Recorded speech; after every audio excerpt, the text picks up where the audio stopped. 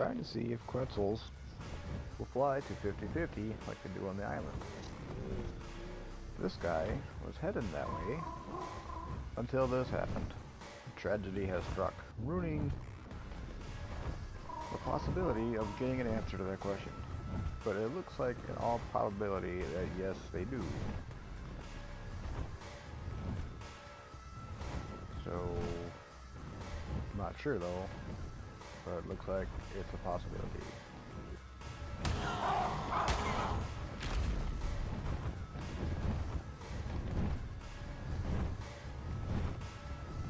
Nope, it's, it's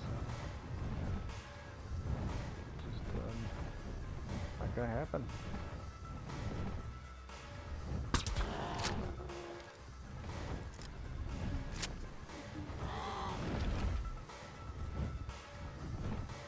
Well, that happened.